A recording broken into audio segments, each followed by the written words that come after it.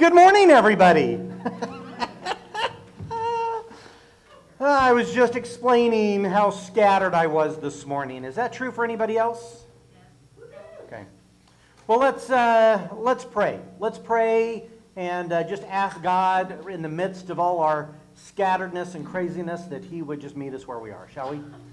Gracious and Heavenly Father, God, we thank you for you. We thank you for the chance to what together to pray, to worship, to give ourselves to you. We thank you for this time. We thank you for this space. We thank you for those who are joining us online. We thank you for those who are willing to brave uh, coming here this morning. Whatever it is, Lord, we just give ourselves to you. We love you, Lord. In Jesus' name, amen. Amen. Hallelujah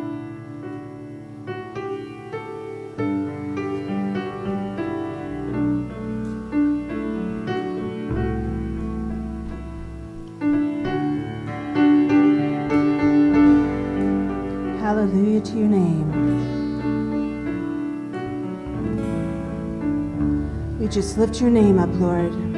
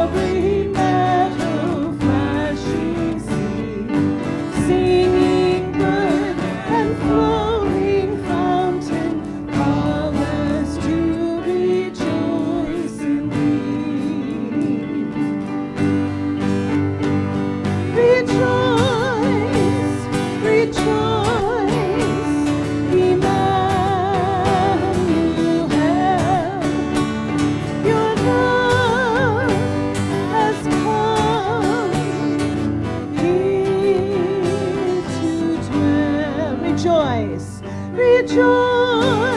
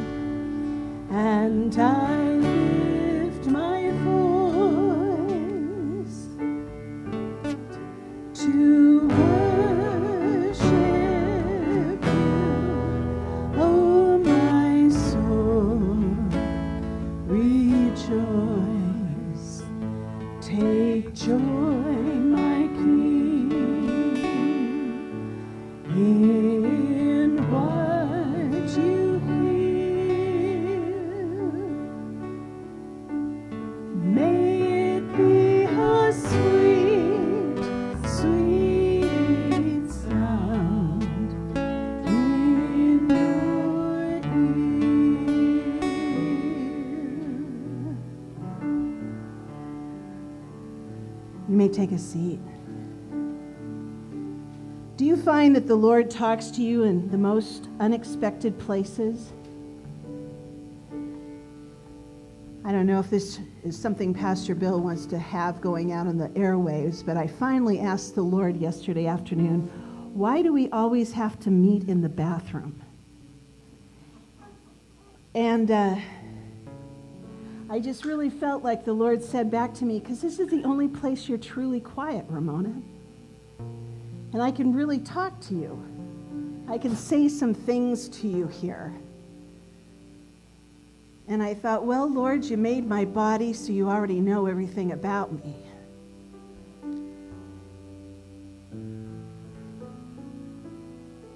The thing about worship Proverbs says that when we worship the Lord, we get wisdom. I need wisdom. Anybody else in the house need wisdom? Hallelujah. We're going to sing a song by Matt Redman. It's been about a year, almost a year to the day, that we sang this song last.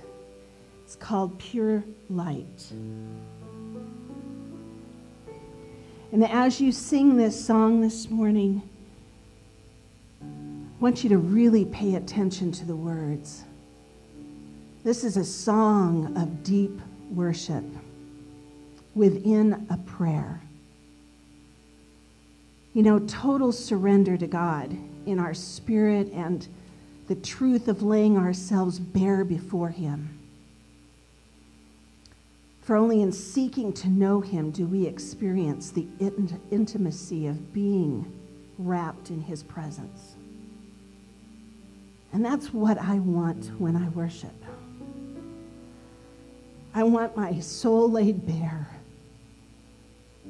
so that He can just speak those things that I need to hear, those secrets, those bits of wisdom, those places that I need to be shown where change needs to happen.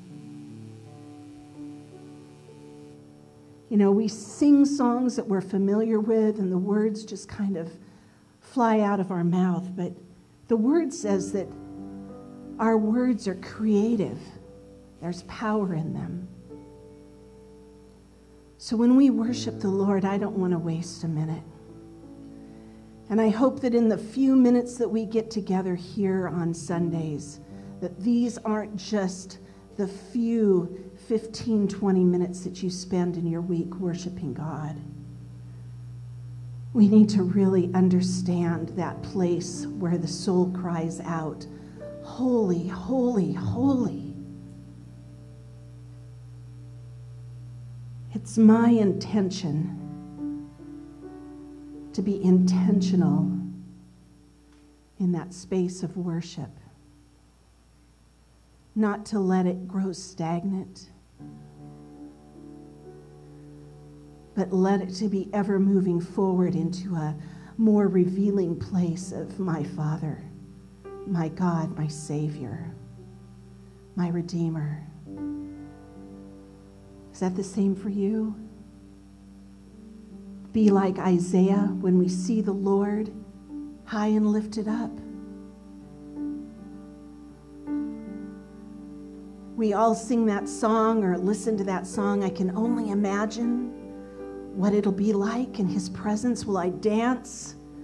You know, folks, I think I'm going to be flat on my face, absolutely in total wonder. We will totally understand why it is that the elders around the throne prostrate themselves down every time the cherubim and the seraphim sings out holy holy holy are you lord god almighty who was and is and is to come. Oh praise his name.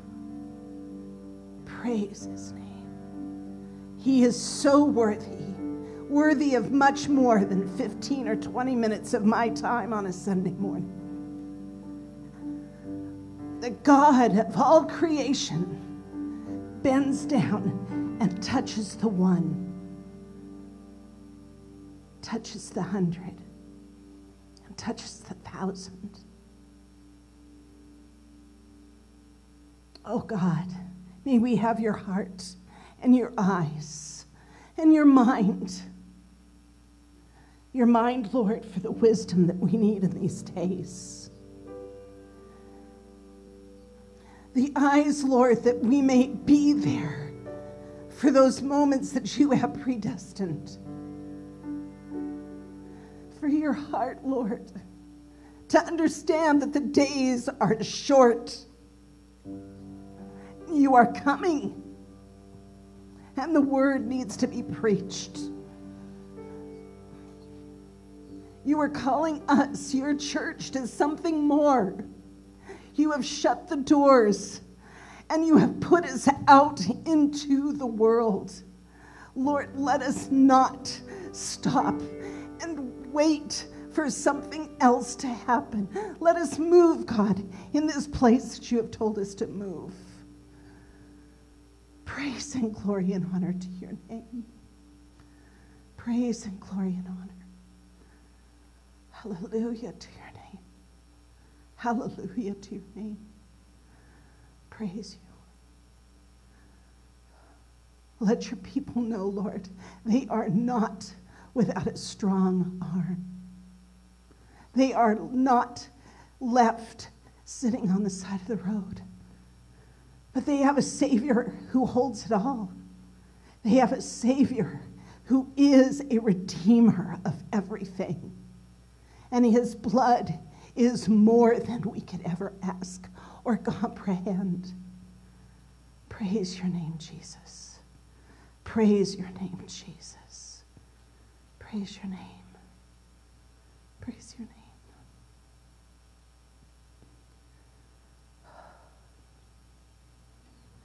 Hallelujah.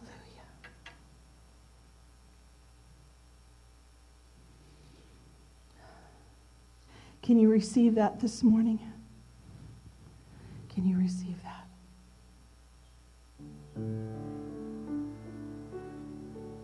Hallelujah.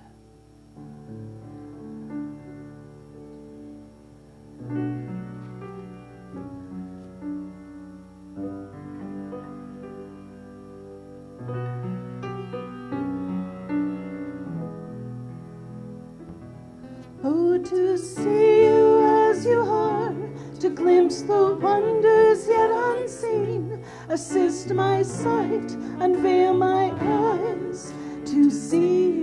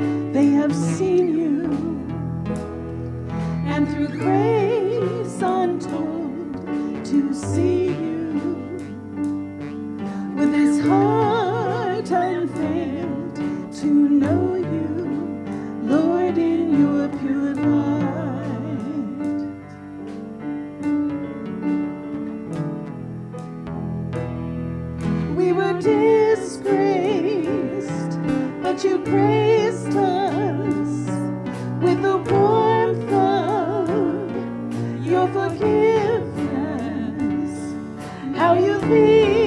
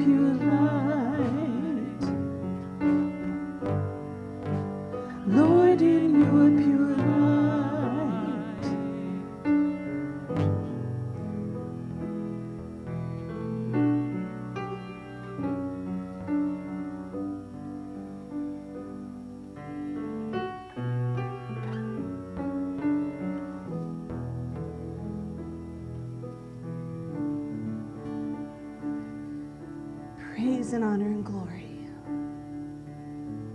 How we love you, Lord. We love you because you first showed your love to us.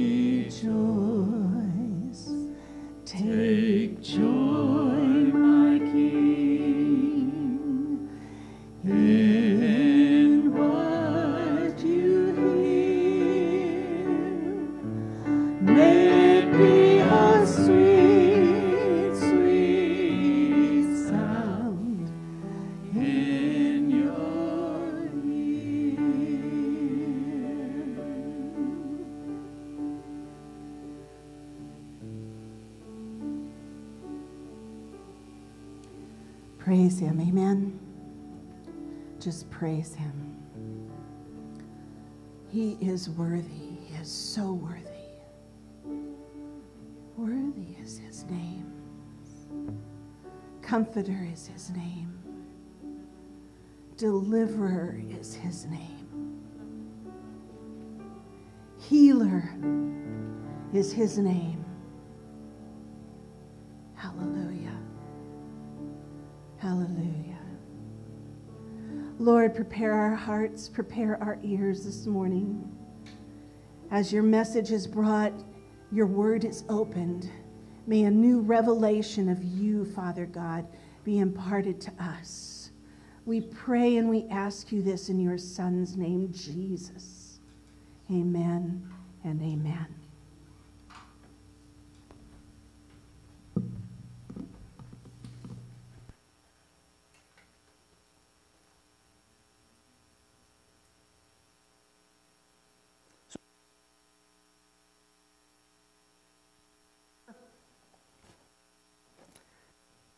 Am I switching? Nope. Okay, we're good.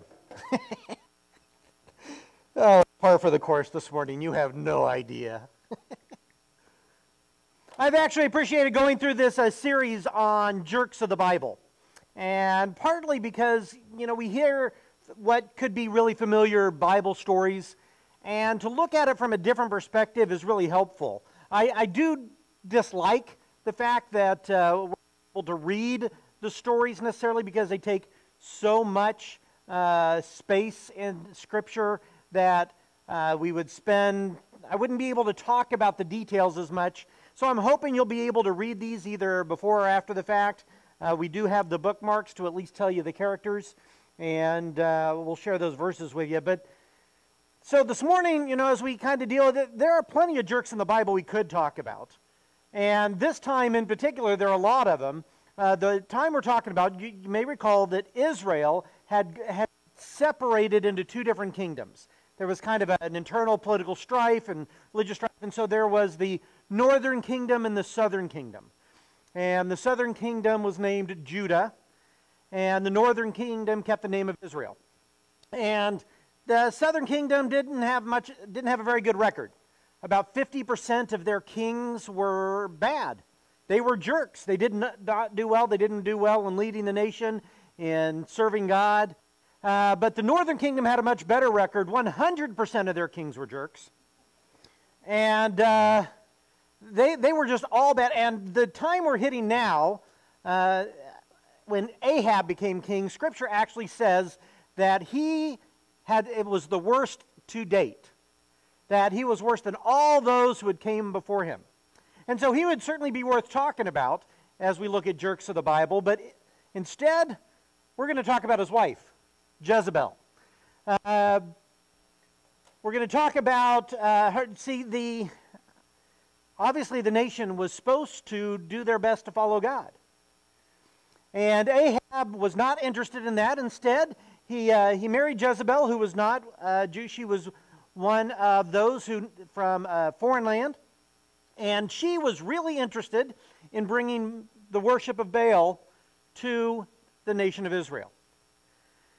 Now, you don't need to know a lot about Baal. Just know that he was a, uh, sometimes pronounced Baal, uh, B A A L, and he, he was a, a, fertility god for the Canaanites.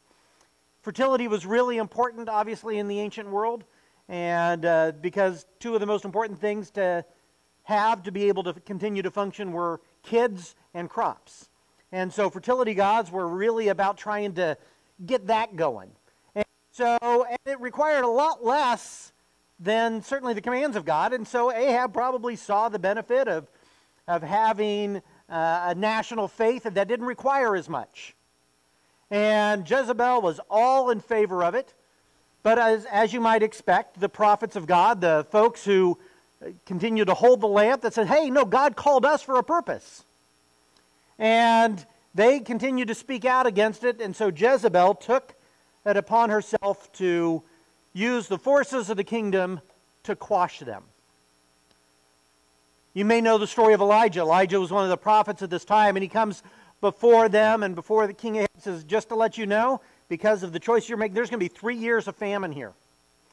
There's going to be three years of drought and famine, and uh, Elijah takes off and goes and hides while Jezebel killing off the prophets that there are some of them saved. Uh, Obadiah, this guy named Obadiah, is hiding them in caves. They're trying to survive in those. After those three years, Elijah comes back and says to Ahab, says, by the way, uh, you know, this is going to be lifted now. But we are going to have this interaction, and they, ha- they decided to have a showdown. Maybe you remember the story between the prophets of Baal and Elijah, where they go to Mount Carmel and they say, let's just put this to the test. Let's have you guys, all morning long, you can put out your offerings in the altar, and instead of lighting them on fire, you're just going to pray for Baal to prove that he is God, prove that he is Lord. Matter of fact, the name Baal literally means Lord. And so they say, just pray. Just pray and see if that light on fire for you. And it never happened. Instead, Elijah comes along and after making his offering even more difficult to light, prays, and God sets it aflame, and the people who were otherwise enthralled with the years of Jezebel's work of trying to bring Baal worship and the Asherah poles to the nation, they cried out instead that the God of Abraham, Isaac, and Jacob was the Lord. And then dispatched with the prophets of Baal, 450 plus, and some others. Well, Jezebel promised, said, Okay, I see what's going on here. So I'm going to kill you too. Well, she doesn't seem to find him as he takes off, and there's an interesting story there, but we're going to go on as Jezebel continues to go after him and does, well, we find out why Jezebel, this one story in particular, just really hits, uh, just really sticks in my craw, which is Ahab wanted this garden that was next to the palace, owned by this guy, Naboth. Naboth.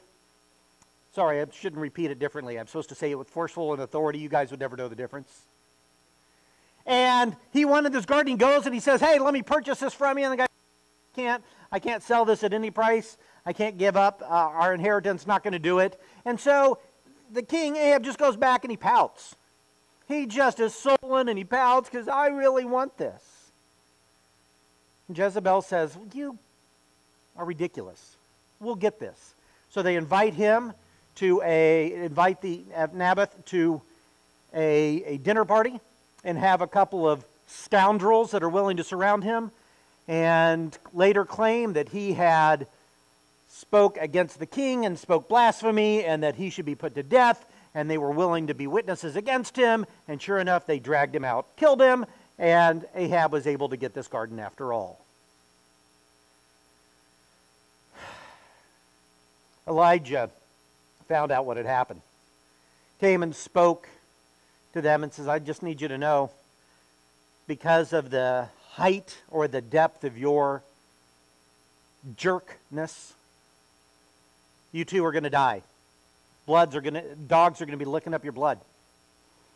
Sure enough, that happened to uh, Ahab. He was leading a, a, war and got shot with an arrow and bled, uh, bled out over a long period of time. And sure enough, the dogs were licking up his blood as, as he died. But Jezebel seemed to outlast even Elijah. Elijah was gone by now.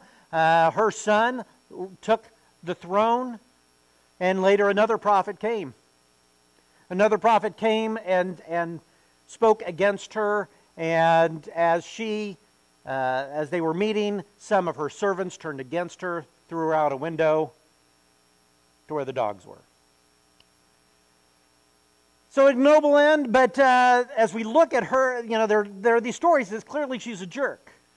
But I want to try to get to what her issue is. What is her issue? And it's really interesting that second prophet who came along, as he was talking to her son and saying about what it is that the nation should be, he points out what her issues are, specifically idolatry and witchcraft. So, seriously, we're going to talk about idolatry and witchcraft which I, I think has got to be kind of strange, right? Because it's not for the most part that we sit around and that we're struggling with, like, yeah, yeah, I was holed up all weekend because there was so much snow, so I made uh, an idol out of the snow and started worshiping it. Like, I, I doubt it, that happened to any of us. Witchcraft isn't much of a thing for us. I mean, it certainly does exist. And I think it is certainly worth talking about. Even here in the West, in uh, the Portland area, we have uh, places and people dedicated to witchcraft. And, uh, you know, but that's certainly even more true and throughout the world. And God has definitely spoken against those kind of ideas and that kind of work. And, and in part, when we look at it, you know, because, I okay, I want to talk. One of the struggles with talking about witchcraft and idolatry is that typically preachers that I've heard jump to kind of the root behind them and let's talk about the deeper things that we could fall prey to. And I want to get there, but I don't want to skip over the obvious. That for followers of Christ, engaging in any kind of divination or magic or any of that kind of stuff or trying to participate in these kind of things is, is antithetical to what God is about.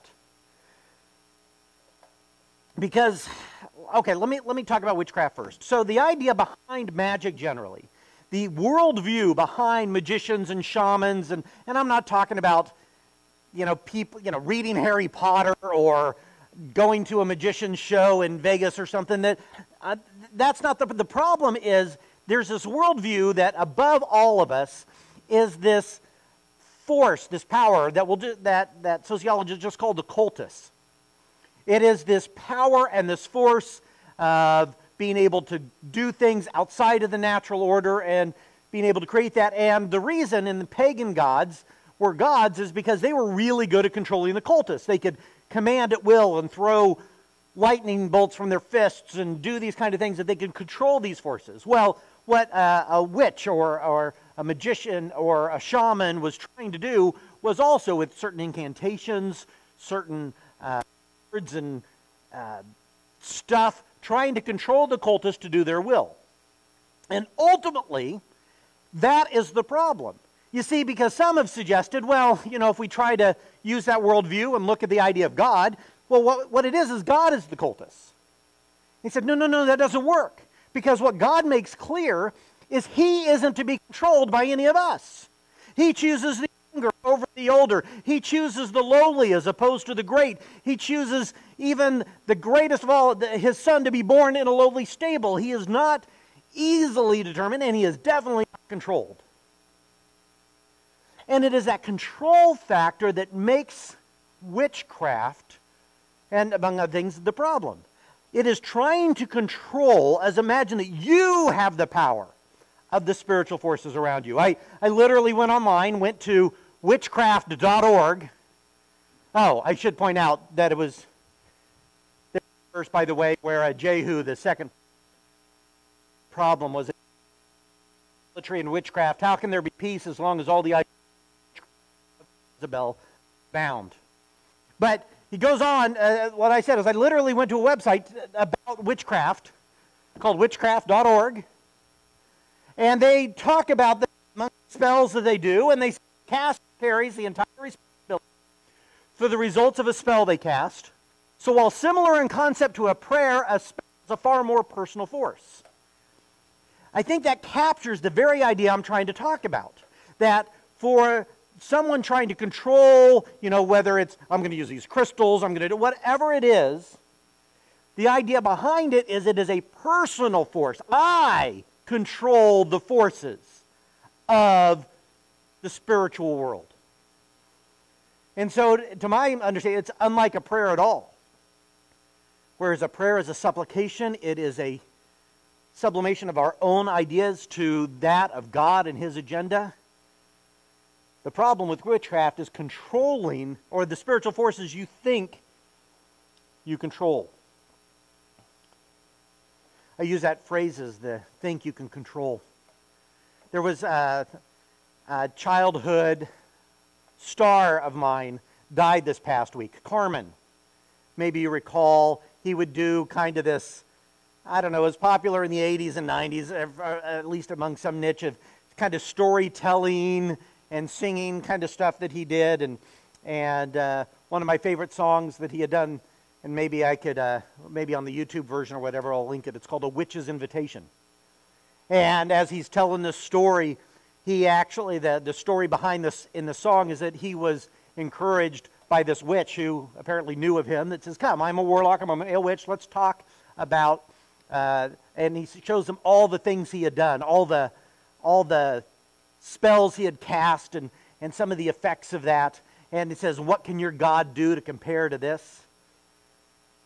And basically, his discussion goes in the story, and I'll leave it to you. Is really the issue is not what I'm not going to compare God's miracles with your spells. But what I will compare is my soul, the state of my soul, to yours. He says, because when it comes and at that point of death, when the spiritual forces you think you now control come for the rights that they claim to your soul, what incantation, what spell will you cast to get them to leave you alone? He says, I would simply say, I am bought with the blood of Jesus. Notice the difference. One is God did something for me versus that which I do for myself. The forces you think you now control. And so the problem with witchcraft is that idea of a personal power. I control. I control these spiritual forces. And for what it's worth, I have seen those who claim to be Christian who also seem to somehow claim that they can control the forces and the powers of God Himself. So those who claim witchcraft—it's central issue of controlling spiritual forces versus being subject to God. And frankly, the idea with idolatry is very much the same kind of thing. In a longer passage here in Psalms, when it talks about idols, and specifically against, but um, not to us, Lord, not to us, but to your name be the glory. It's not about our control. It's not about what we get. It's about you, God, and you get the glory because of your love and faithfulness. And why do the nations say, Where is their God? See, the implication being, well, you don't have any idols. We don't see your God. Where's your God? Where's your statues? We don't see your God. Where is your God? Our God is in heaven. He does whatever pleases him. He can't be controlled. He, does, he has his own agenda, not our agenda. But their idols are silver and gold, made by human hands. They have mouths but cannot speak, eyes but cannot see. They have ears but cannot hear, noses no, they have hands but cannot feel, feet but cannot walk, nor can they utter a sound with their throat. That these are, are things you have created with eyes and ears and mouths that if they somehow matter, but they don't, they're not real. They're, they don't have any reality to them. They don't actually see, they don't actually hear, they don't actually speak. They are made by your human hands, and those who make them will be like them.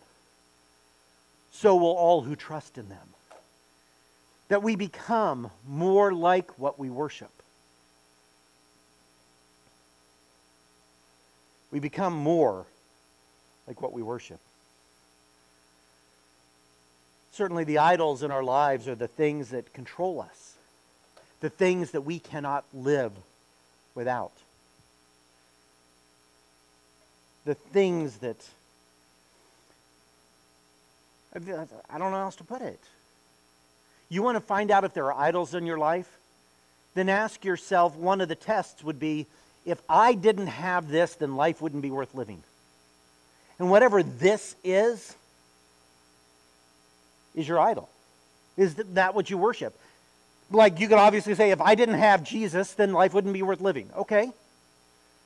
But I've heard people also say, if I didn't have my health, if I didn't have the ability to walk, if I didn't have this certain person in my life, if I didn't have this pleasure in my life, if I didn't have this prestige in my life, if I didn't have this job or this title or what, then life wouldn't be worth living, is to say that that is what you worship. Another way, and I know this is harder and I don't mean this, well, I do mean it, but it's going to sound a bit harsh, but I, I think another version, or another way to test whether there are idols in your life, especially if you are a follower of Jesus and you, and you have said, you know what? I know God forgives me, but I can't forgive myself because of this one or sin or whatever. If you know that God forgives you, but you cannot forgive yourself, then it's because you have betrayed an idol in your life that is more important than God. You have betrayed maybe the image of you as, as this good person, or that you want to take this certain role, or that you see yourself differently, or whatever. That you ultimately say, what is more important than whether God forgives me, that I can't forgive myself because I have always had this image that I'm the good guy, that I am without sin in this area, whatever it is. And why does this matter at all? There's this really interesting passage in Samuel that um, what, what's going on is Saul is supposed to you know, not take certain things from the captured enemies. And he says, you know, I'm going to do this anyway. I'm going to get it. I'm going to do it. And then I'll some of it. See, I'll, I'll go make and if it was done in ways that it wasn't supposed to, then I'll, you know, I'll give to the church and, and, and I'll make things good. And give him his due. Realize the ancient world acted like this. Plato and, or Socrates was arguing about this in Plato's dialogues uh, when someone said, well, you know, just was a horrible person and really and gained lots and lots and lots of wealth, and then I could sacrifice to the gods and everything would be okay. Wouldn't that be a better way to live if I could get away with it? But here is what Samuel says when to Lord delight in burnt offerings and sacrifices as much as in obeying the Lord. To obey is better than sacrifice, and to heed is better than the fat of rams.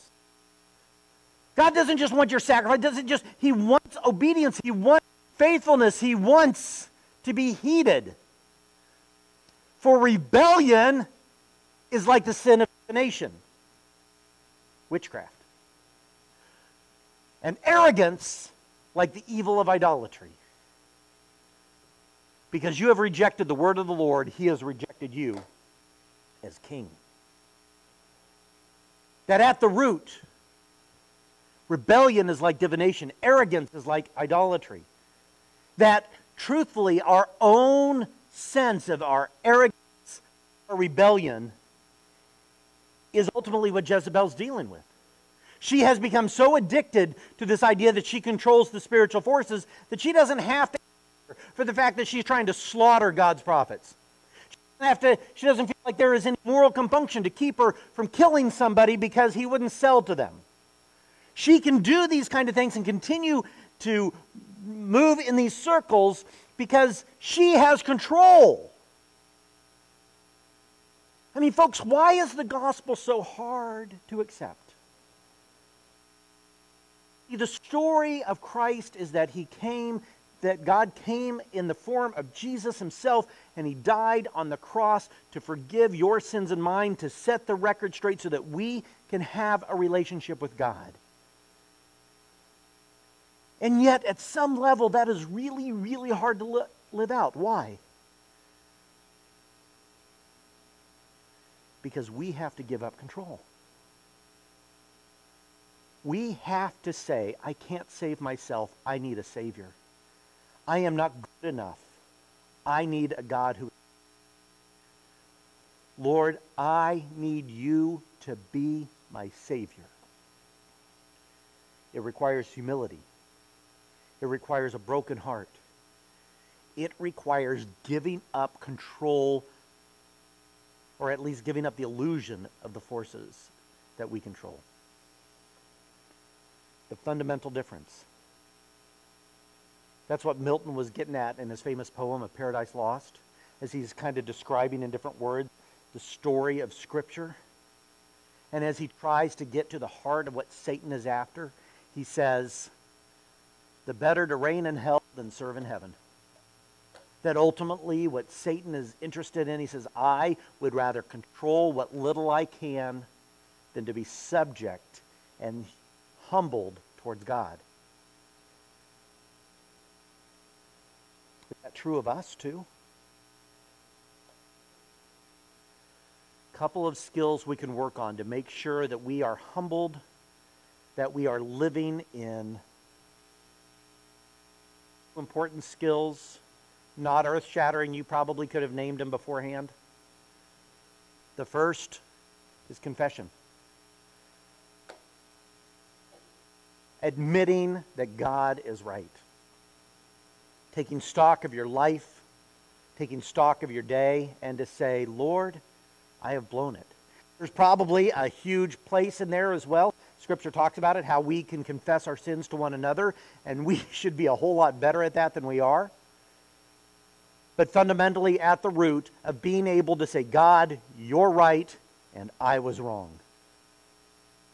You are God, and I am not.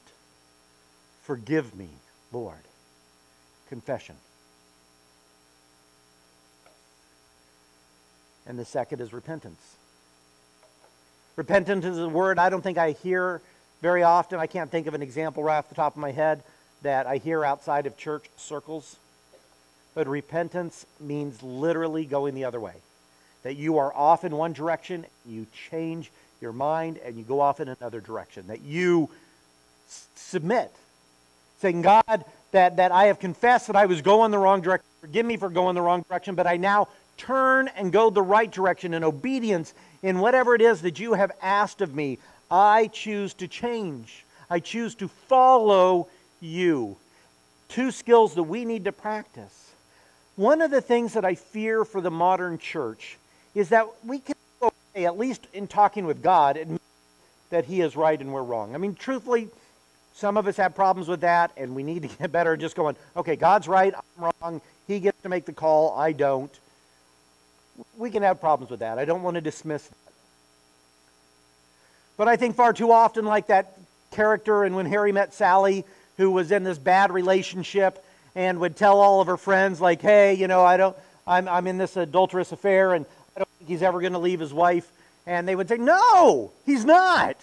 And her response would be, You're right, you're right, I know you're right. would say that over and over and over. You're right, you're right, I know you're right. And it was the joke of the entire show was the fact that she was never going to change. She was willing to confess something was off, but she wasn't willing to be any different, and that was supposed to be funny in its tragedy. And maybe it is, but it is not funny in your life or mine. Simply confessing and saying, okay, okay, I know God has different standards, but Without repentance, we are not living in humility. We are living as if we somehow can control the very forces.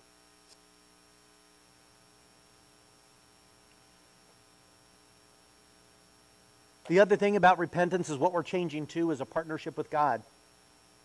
We are going away from saying, I'm doing this on my own, to I, I'm going to partner with God.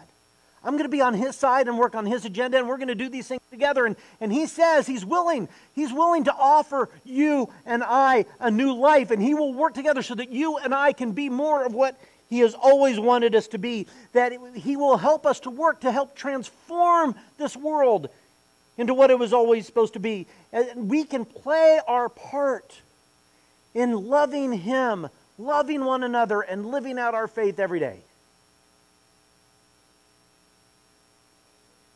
Or we could be like Jezebel. Let's pray. Gracious and Heavenly Father, let me just start off and just in confession.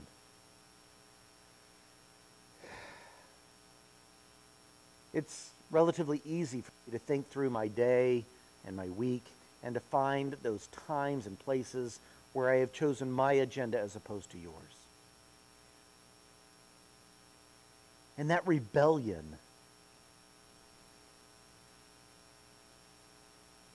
That arrogance is like idolatry and witchcraft. And so, Lord, I ask once again, for the zillionth time or for the first time, forgive me. And I know that your grace is sufficient and, and, and that my relationship with you is not based upon my own goodness, but your goodness, that, that you're willing to forgive and accept me as your child is stunning and, frankly, a little bit unbelievable. But I trust you. If you say that you will forgive me and accept me, then I take it. I'd be a fool not to. But Lord, I also need to repent. I need to move in the other direction, and I need your grace and your power to do so. To live in more obedience, not just the occasional sacrifice, but real obedience to you in the areas that, well, that you're putting on my heart. I mean, I've got lots of people in this world telling me I should be different, that I should be more of this or less of that. I've got people in my day and people in the world, and news and billboards that tell me who I should be. But Lord, I want to hear from you. Not even my own heart. I want to hear from you. Give me the power to be obedient and repentant. In Jesus' name. Amen. Once again. Thanks for joining us this Sunday. I'm playing around with different features, just having fun with this whole video thing. Um, not a lot of announcements today, other than uh, as I am recording this anyway, I know that there are still some families who are without power. Um, so maybe be thinking of each other, maybe be reaching out. What's my dogs? Um, maybe be honoring each other. I hope that uh, we reach out to somebody this week. Uh, I hope that that's on your heart and that we can follow through on those things. We need each other during this time in our community um, as Lynwood friends, um, but then even as children of God um, brothers and sisters, all of that. So that's my big announcement. Love on each other. Find ways. Write a note, give a call, send an email, send a text, check on each other, drop something off, all those fun things. Um, we are in Lent, um, which is a time of preparation as we prepare our hearts to receive our Christ and our Savior and the gift of God. Pretty amazing. So, bless you. And I'm just going to close this out in prayer. Heavenly Father, we just thank you so much for all that you do for us. We thank you for this season. Wow. We thank you for this season. It's been quite a year, and most recently, quite some weather and situations, and it just kind of keeps piling on, doesn't it? Um, wow. And here we are preparing our hearts and minds uh, for the coming of our Savior. This is a pretty special time. So may we hear you in new ways. May we discover you in new ways. May we hunger for you in new ways. Bless this week. In Jesus' name, amen. Blessings, everyone. Have a great week. Look forward to being in touch. Bye.